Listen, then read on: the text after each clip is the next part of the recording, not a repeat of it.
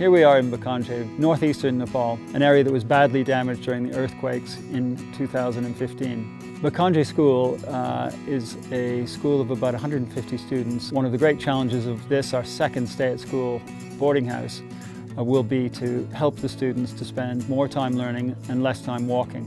We're here, we've just started the project. Our project leader, Rinzi uh, Sherpa, is uh, working on developing a great school. I'm Rinzi Sherpa, working as a field officer in the State School, Nepal. So this is our uh, second project here. Before we finish a nice project, hostel project in Junbesi. Now this is Likhupike 5 Bhakanje. We are starting a new, I mean, hostel here, very beautiful hostel maximum one year we are trying our best to construct so we are very much happy that we are doing something for the poor people so thank you very much